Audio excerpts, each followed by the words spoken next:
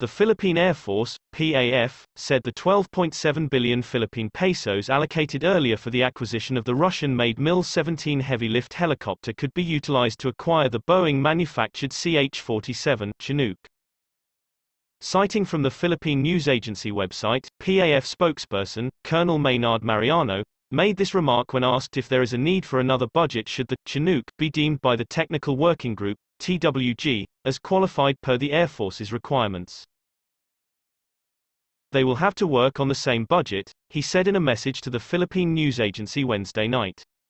The 12.7 billion Philippine pesos fund was allocated to supposedly acquire 16 to 17 units of the MiL Mi-17 with the contract signed in November last year.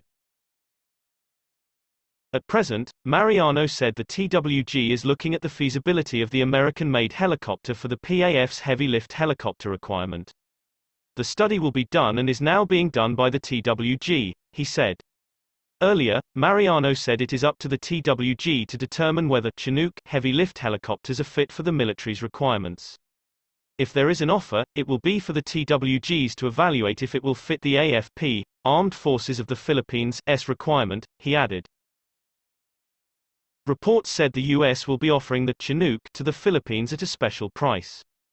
The Department of National Defense DND, earlier said it is now formalizing the cancellation of the MiL Mi-17 contract with Russian firm Sovtechnoexport LLC.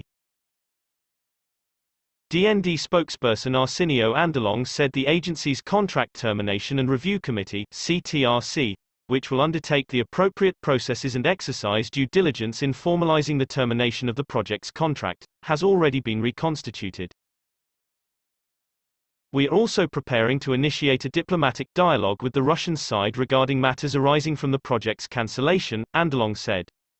He added that changes in priorities necessitated by global political developments resulted in the cancellation of the project by the previous administration.